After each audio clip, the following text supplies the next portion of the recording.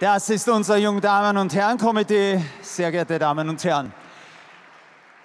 For guests from the United States and everybody is not able to speak uh, German, officially the opening of the ball will be done by the Secretary of State of Health of the Government of Vienna. Please welcome, meine Damen und Herren, den Ball offiziell eröffnen wird unser Gesundheitsstadtrat der Stadt Wien. Begrüße mit mir Peter Hacker.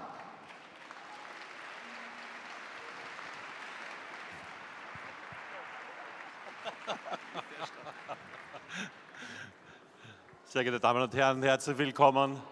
Es ist eine Veranstaltung, auf die wir, glaube ich, gemeinsam sehr stolz sein können.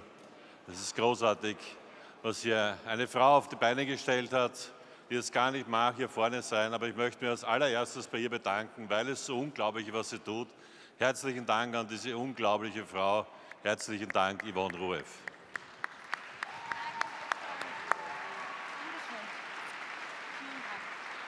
Ist wirklich großartig. Es ist gar nicht selbstverständlich. Es ist gar nicht selbstverständlich. Wir haben für das Gesundheitswesen im Augenblick besondere Herausforderungen.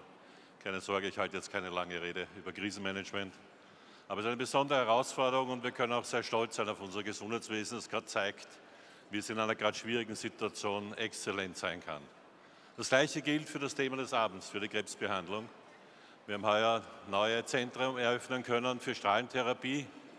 Aber das hilft alles nichts, wenn der Krebs behandelt wird, medizinisch perfekt, exzellent. Was wir im Spital nicht behandeln können, das ist das Herz, das ist die Seele, das ist die Kränkung.